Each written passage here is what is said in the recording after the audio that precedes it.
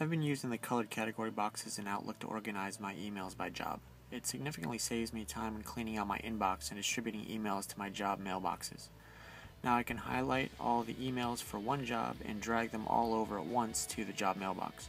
Then I can go back and organize my job mailboxes by distributing the emails to their specific subfolders. This has helped me eliminate some overprocessing. Thank you.